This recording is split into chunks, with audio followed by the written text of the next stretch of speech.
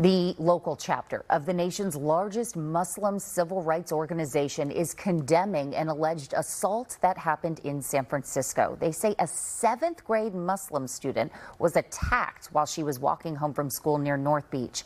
Leaders with the Council on American Islamic Relations, or CAIR, tell NBC Bay Area they feel the school district isn't doing enough to hold the attackers accountable.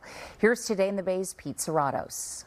Now, nearly three weeks later, the school has failed to take any action.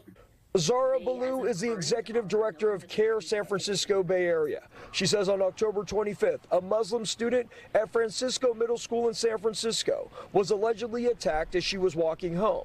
Billoo says the student was punched in the back of the head and struck multiple times in the chest and ribs, and that one of the attackers allegedly said this to the victim. The attackers used the words, uh, you effing Muslims, and continued to beat her.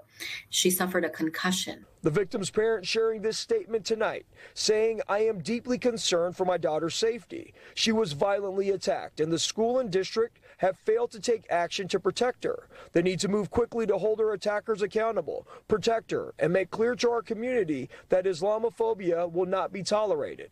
The San Francisco Unified School District says it is investigating the incident and working directly with the impacted families. Also adding that we are deeply concerned by reports that hate speech between the students was a factor in this altercation.